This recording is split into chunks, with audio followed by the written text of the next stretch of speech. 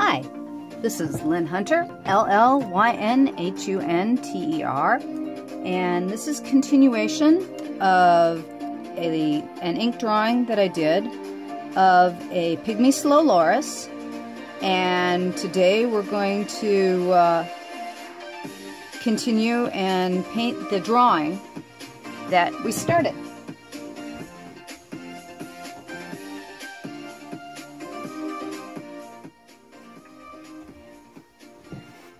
And uh, I'm not sure how many colors that I'm going to be using this time. I keep trying to use as few colors as possible. Um, just because it's easier for you guys if you're starting to watercolor paint to just get a few colors instead and then build up your palette. And I know that because um, watercolors, good ones can run you anywhere from six to, uh, I have a spider running across my painting. There it goes. Uh, sorry about that. Just saying, let me blow this little guy away. there we go. He'll find somewhere else in the house to, to eat little insects or what have you. I, I don't kill spiders.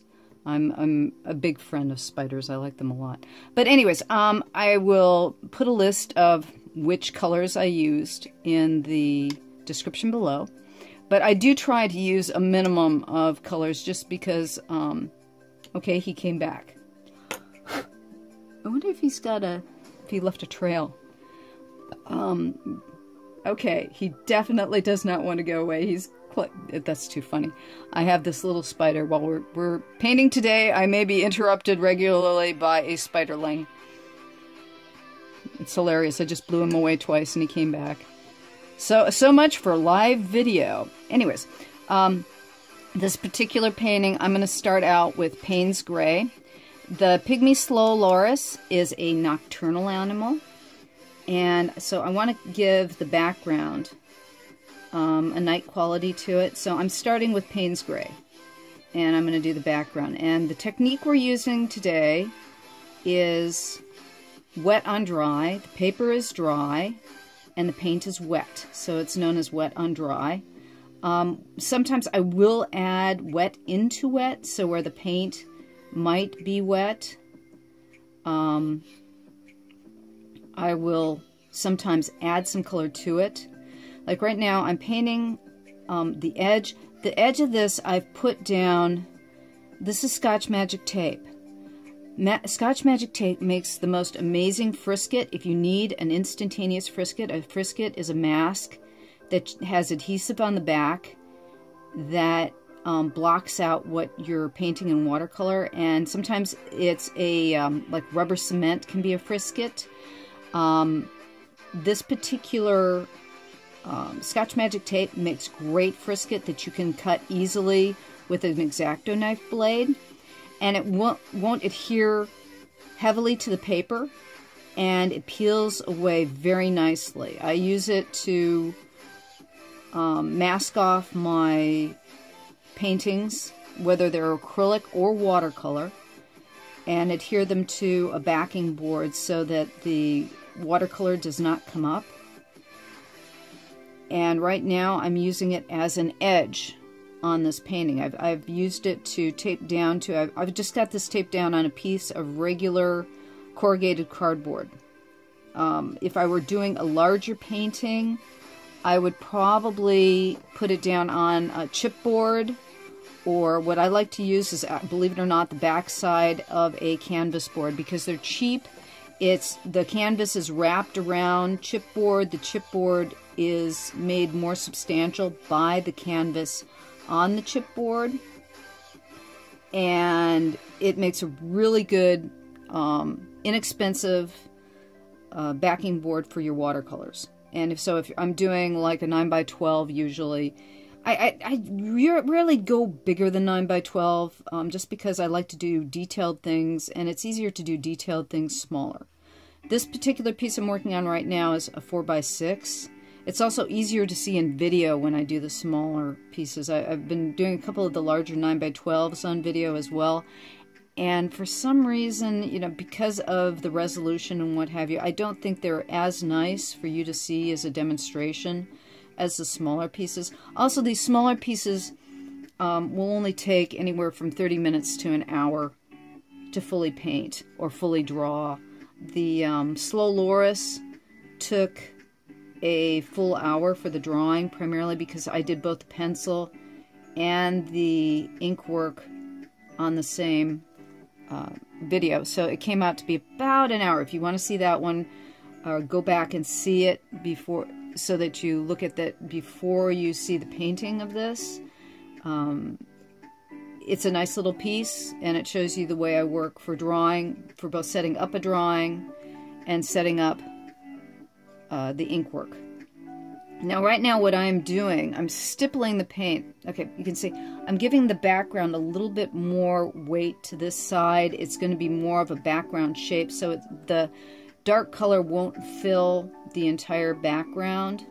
But I want to give a sense of either twilight or night, again, because this particular creature you're never going to see out during the day. Those great big eyes it has is because it is a nocturnal animal, and it feeds um, on fruits, vegetables, and insects, and small birds. Um, it's a primate, and most primates do have a very wide diet. So, um, this one in particular lives in Vietnam. Uh, I've also put a link down at the bottom of the description, so if you want to look up more on um, the pygmy slow loris, you can look it up. There are a lot of lorises that are not endangered. They might be threatened. Um, some of them are actually, I don't think any of them are common, just because most primates in general are not common. Um, but I know for a fact that the uh, the pygmy slow loris is on the endangered species list. And here comes my spiderling. I'm gonna blow him away. Nope, he's walking away. Very funny to have a spiderling on your desk. Um, but anyways, so we're gonna we're doing primarily in Payne's Gray. I put a little bit of Mars Black um, right here to give a little bit of variety and a feeling of something else in the background. And again, with all watercolor, you want to build up. I never go straight to a flat color immediately. Um, it's always a build-up with me with watercolor. It allows me to um, make mistakes, and uh, I just I think in terms of build-up. So it's one of the reasons why I like a transparent medium over an opaque medium. Opaque mediums work backward. You start with usually your medium value, and you work to the light and you work to the dark. Whereas with watercolor, you really don't have a choice. You have to start light and keep building and building and building. But the nice thing about that is with every layer of color that you put down, you get a variety more color than you probably would have chosen in the first place. Some you get some colors that the paint chooses because when the water blends the colors together, you it make creates values and um, textures and colors that you would have never chosen yourself. And so the, the water color becomes like your partner. And you've got to let it do its own thing.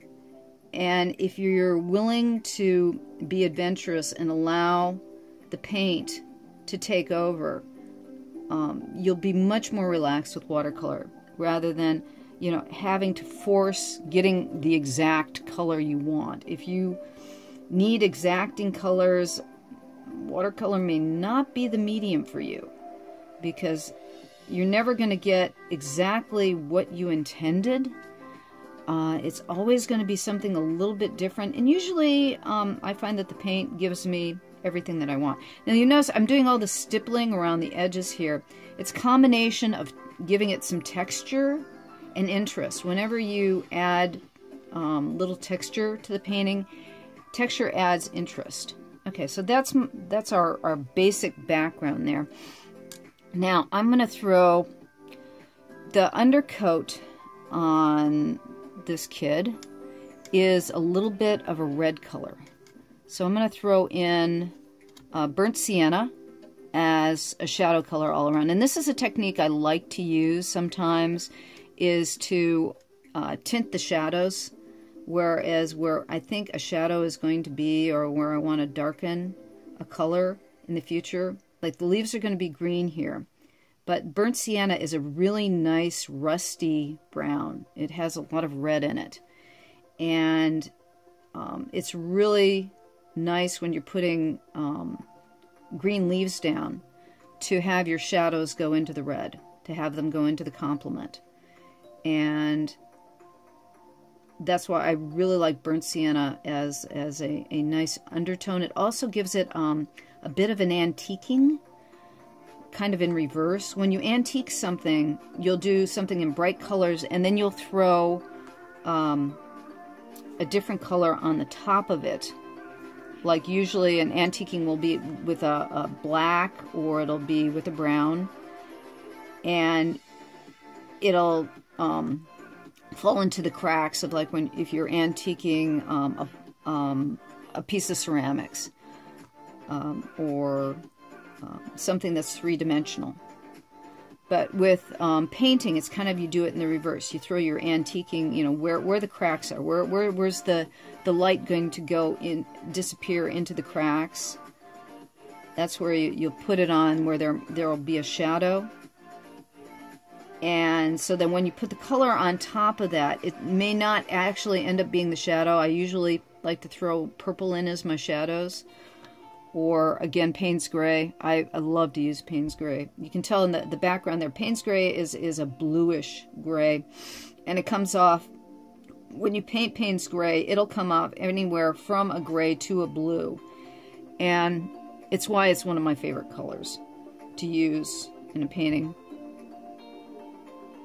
And so right now, like I said, I'm, we're, we're putting all the uh, burnt sienna, though, in these areas. And then now he's got the um, slow loris itself, um, where it's got the, uh, it's got various portions on its, ooh, that was good, juggling with the brush, um, but uh, the, the red, it has um, red accents in its hair, so I'm going to put the red in, in the accents down first.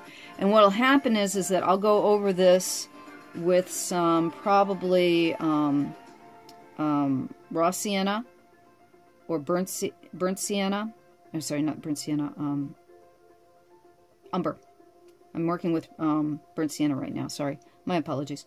Burnt sienna is the red. Um, umber is yellow. Umber comes out much more yellow. And so I'm putting down the reds first because also red is darker than yellow. Um, when it comes to uh, hues, you want to be sparing with the red if you want to um, make your yellow brighter. And what'll happen is, is that also um, burnt sienna will dissolve nicely.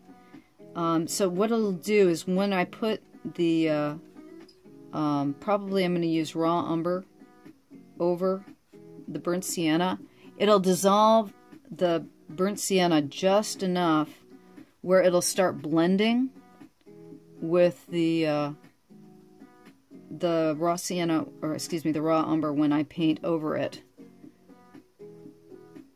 And then if I want to go darker with the red again, with the, uh, there's my spider, little spiderling, just adventurous on my painting today. I said I blew him away twice and he just keeps coming back. I will assume he's he's putting down a drop line or something, or I'm just not not blowing him far enough away. I have a lot of spiders in my house. I, I live in the woods in uh, Central Coast, California. So if you live in a forested area in Central Coast, California, you are going to have cellar spiders everywhere. They, I basically shoo them out of the house about once every um, couple of months. I'll, I'll, do the three to four month. Okay, take my there's it's called a Webster, and you go through the the ceiling of your house and you just kind of evacuate all the spiders and get rid of all their webs. And they all come back again because they think your your the interior of your house is the inside of a tree. And so as far as they're concerned, you're just one big tree. And the one thing they do do is they do keep away a lot of mosquitoes They keep away roaches. We don't have any problem with roaches at all here. It's like, any baby roaches in this house? No, the cellar spiders will get them right away. And they, they're a little bit annoying, but there's, you know, not much you can do about them. You live with the spiders. And also Central Coast is the land of spiders. This little guy, I have no idea what he is. We have jumping spiders. We have orb weavers. We've got just about any spider you can imagine. We have got some variation of them on the Central Coast. But anyways, this is this is about lorises, not spiders. Um, what's really interesting, found out about this um, recently, the loris is the only poisonous mammal. I mean, literally venomous. It has, it has a poison. If you get bitten by a loris, you can get very sick and die. I could, I did not believe this. It's like seriously, look it up. Look look up information on the loris. They have glands in their hands, like their wrists, and they coat their teeth with the venom that's from the the these glands in their wrists.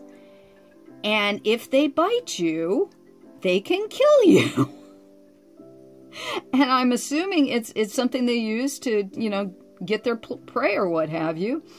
Um, but it is also a defense mechanism. So it's, it's like uh, these cute little fun primates, basically they're relative to monkeys. These guys are related to us. They are primates, monkeys. Technically, they, they look very rodentia, but they're not. But then again, um, if you did not know, you're also closely related to rodentia. As, as the evolution ladder goes, it goes from rodentia to primate. So the thing is, is that the reason why, this is nice little factoid, the reason why they can use rats and mice as um, creatures that we used to experiment with medicine rather than monkeys. They still use monkeys and apes, but they can use rats and mice because they have very short lifespans. But they, I think it's something like 89% of mouse DNA is sim similar to you and me. And so the thing is, is that primates are the next one. So it goes rodentia, then primates, basically rats and mice, then monkeys, and monkey-like critters, and then you and I. So these are these are our closest. These are some of our closest relatives right here. The um, slow this um, pygmy slow loris has five toes, and it on its hands and its feet.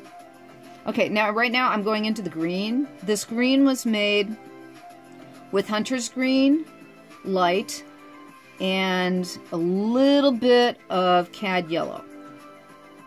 Um, I have a tendency to choose most of my colors um, to the warm side. I usually have, um, of the six colors in a color wheel, I will have a warm and a cool version of each of the colors on my palette.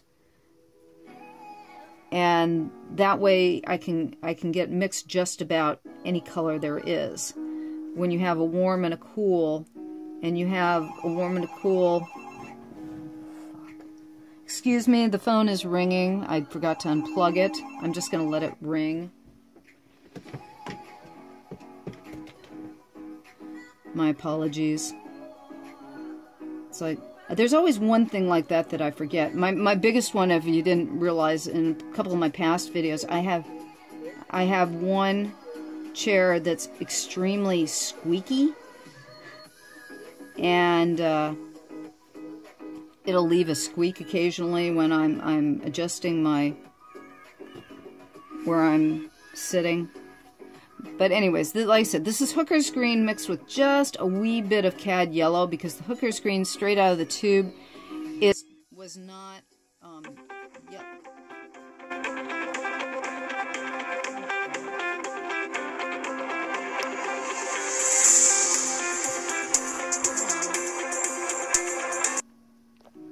Apologies there.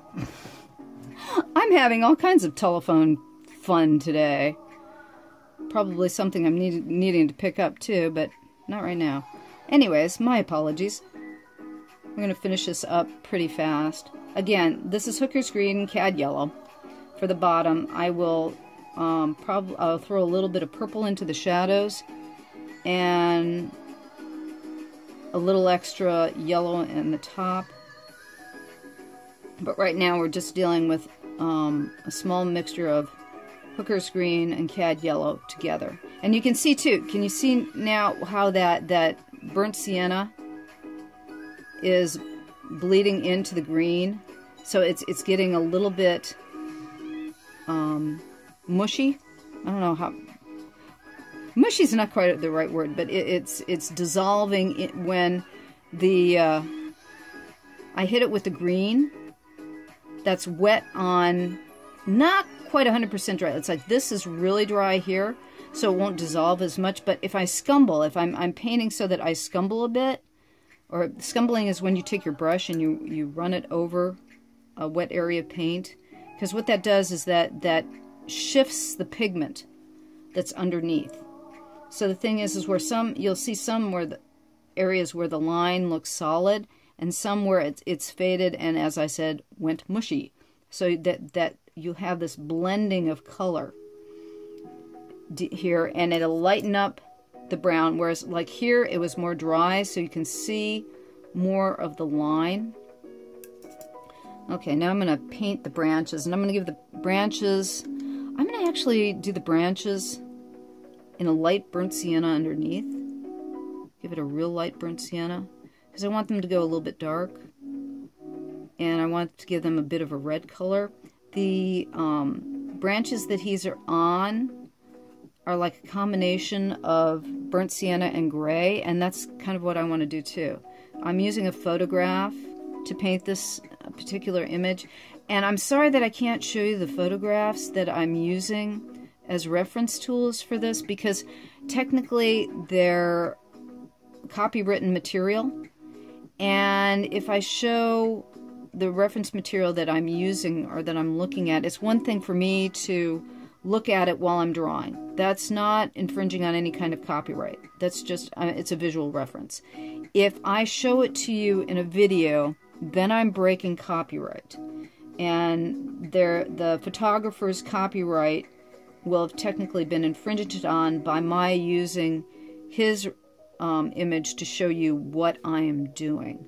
So I know this is tricky stuff, but you know, you don't want to, if you can, not infringe on, on another person's rights. But also the thing is, is that this guy has posted on the internet. It's something that I am allowed to use as a visual reference.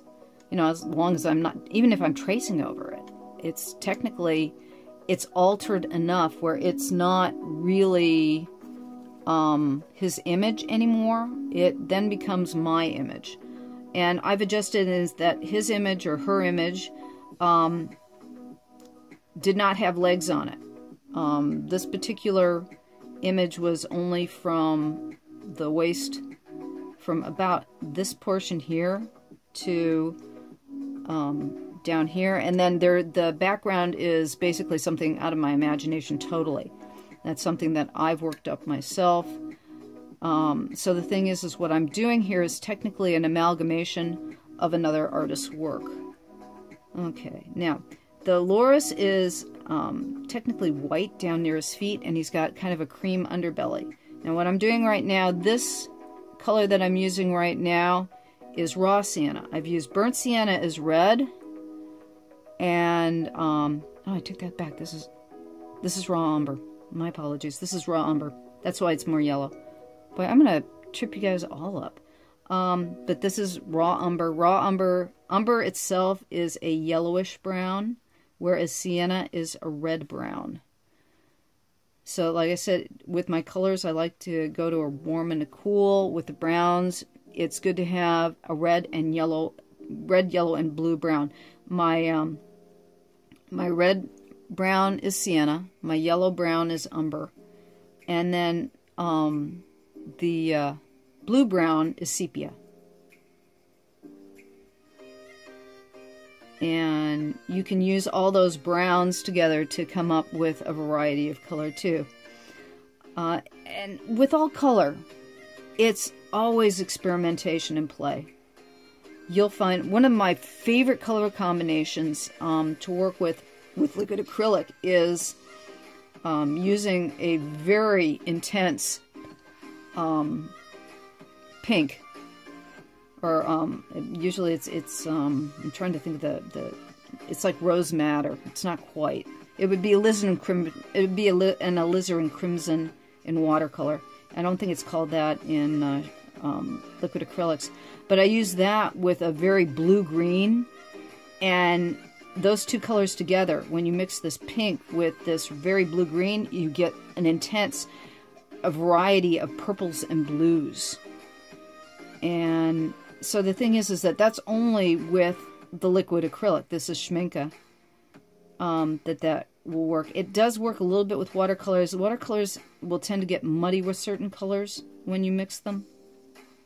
And it's really an experimentation. Now I'm going to dab this a bit because there we go. Because what that's that dabbing it with a paper towel, you can tell I pulled out some of the color to lighten it up and it also will give it a little texture um, because this this particular uh, creature is a little bit butterscotchy.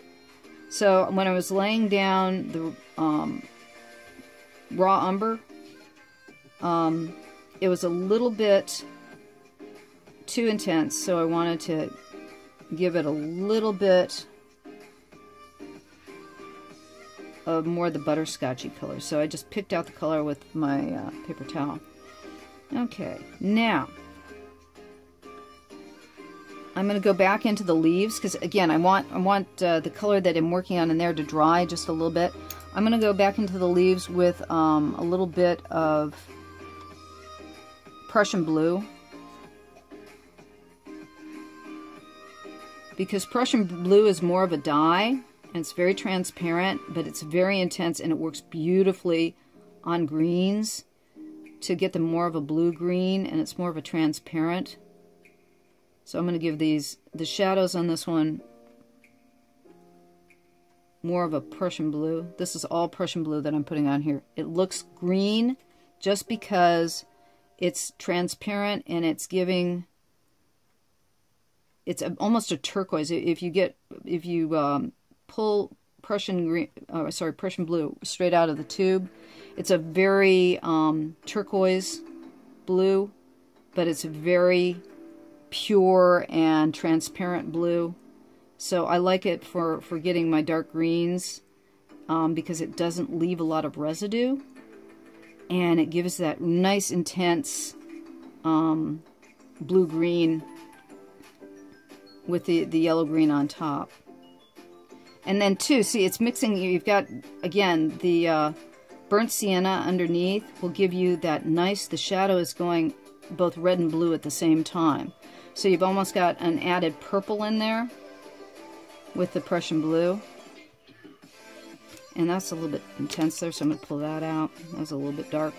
Um, and the thing is, is that when you're doing something, if something gets too dark, sometimes you can pull it back by using just a brush filled with straight water and then scumble on your dark area and that'll pull the paint out. It all depends on what kind of color that you've used. If you've used a, um, a dye color, it won't come out as easily as with a pigment color.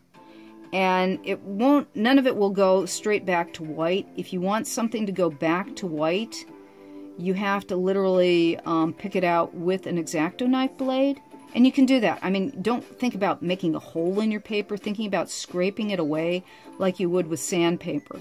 Okay, what I'm doing right now is I'm putting a, a little coat of Payne's Gray over that burnt sienna I painted on the trigs, and then I'm pulling it out.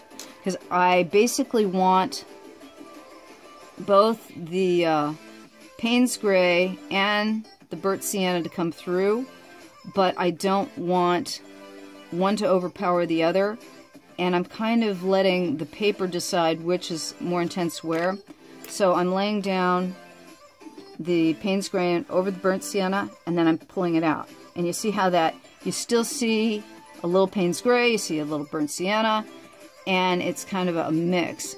Now, I haven't put a shadow on this branch yet. I'm just worrying about the color at the present. So I'm just putting the Payne's Gray on top of the burned sienna to give it a stain. So I'm, I said, just putting it down and picking it out. And you'll see the, the, the, the burnt sienna is still there and the Payne's Gray is still there, and it's to varying degrees. And it also pick up in the um, all the uh, the shadows on this little guy I'm going to be doing in Payne's Gray and probably, I'm not sure if I want to throw some purple in there yet or not. I always like to put a little either blue or purple in the shadows sometimes. But right now, I'm, I'm when you're painting, it's like you make your color decisions as you paint. Okay.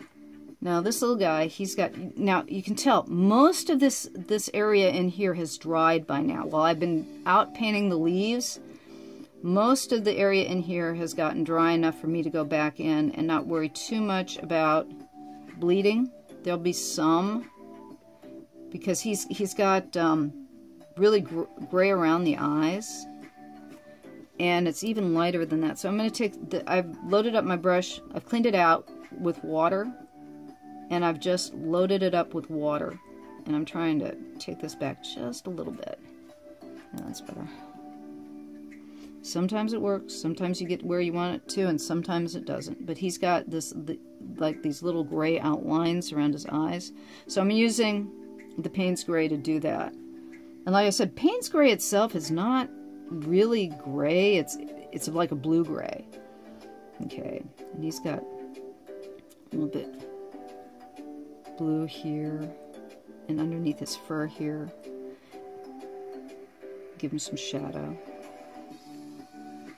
and his he's got more of a, a blue black. So I'm using just a little um, Mars black into the Payne's gray just to take it a little bit more gray.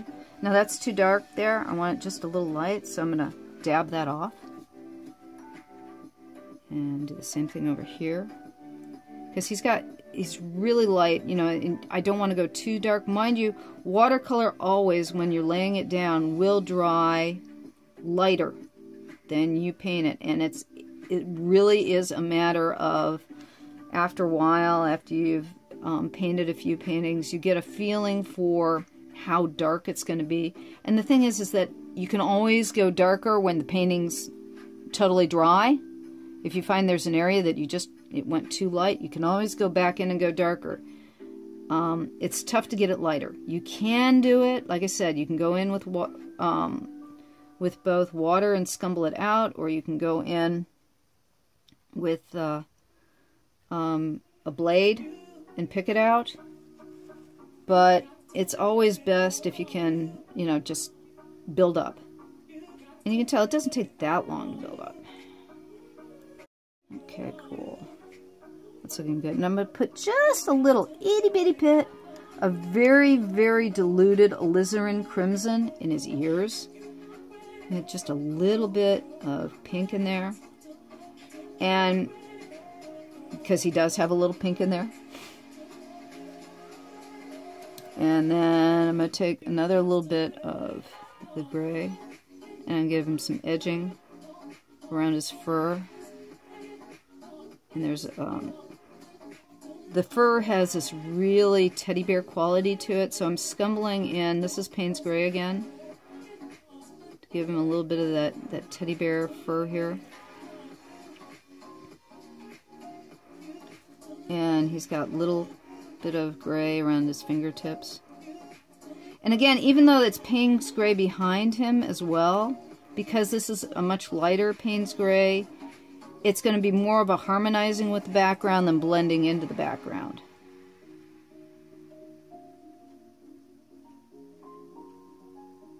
And the other thing is, is when I'm totally done with this, I will, I won't show it on this particular video, but I will go over the ink drawing one more time um, when I'm done with painting to crispen up the edges or where the, the paint's showing through where I didn't want it to.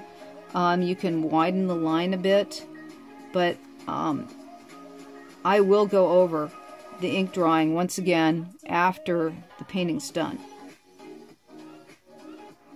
Okay. Now I'm going to throw, let me see here. I'm going to throw a little bit, trying to think what I want to do with those shadows. I'm going to mix a little bit of Payne's Gray and um, the uh, Prussian Blue together to darken it up. And I'm going to use that for the shadows. So in the, uh, the twig here.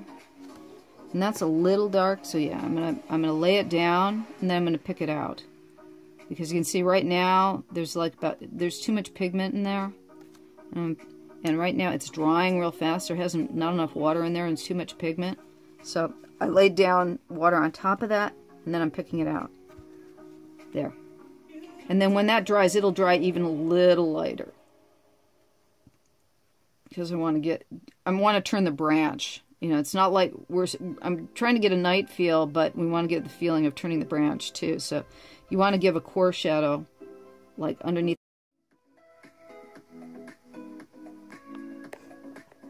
Okay, I had some technical difficulties on this one between a spider walking across the painting, telephone call, and me turning on the camera and off again, you've missed half the painting. My apologies, and I've been sitting here telling you so many neat things, and we've missed this one on this one, but here we have the finished painting.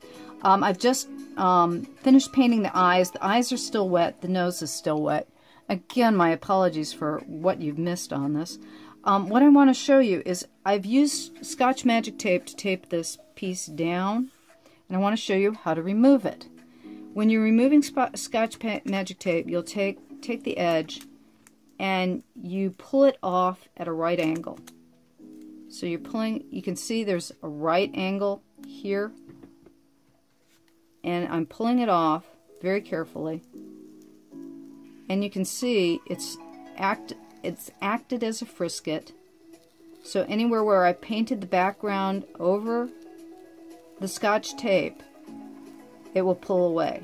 Now again this particular paper is um, 150 pound or 300 gram Arches hot press watercolor paper. Now I'm going down to this edge. I'm carefully pulling this side away. And again you pull it if you pull it off at an angle you shouldn't have any problem. There will be a little bit of pulling on the paper. There will be a little bit of adhesive left behind. But when the painting is totally done, you just take a, a kneaded eraser to that or a latex eraser and you'll never even know that there was any tape on this particular piece. Now, right at the corner there, there's a little bit of paint that slipped under. Right here. And I'm going to attack that with an X-Acto knife and clean that up and you'll never even know that there was a mistake there. And that's the thing with all watercolor. When you're learning to paint with watercolor, what's best is to learn how to fix your mistakes. Again, we're pulling at a right angle across the top very carefully. There. And you can see it, it'll pull off a little bit, it's pulled off a little bit of paper on the uh, cardboard. But that doesn't matter because that's why we're using cardboard. Now, let's see if I can show you, since we didn't get to do a lot of painting. Okay, see the those two little mistakes in the corner? I'm going to show you, let's see here, there we go, right there. Yeah, my camera. Camera. Hold where I want you to hold. Right there. Now I'll move. Now I'll move the piece. There we go. There. So you can see the mistakes that are there. And I'm going to take an X-Acto knife blade.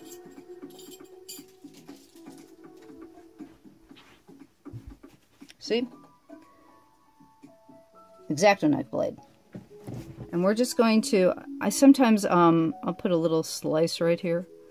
Um, see, move this around so you can see. Okay, and then I'll take it and just scrape it.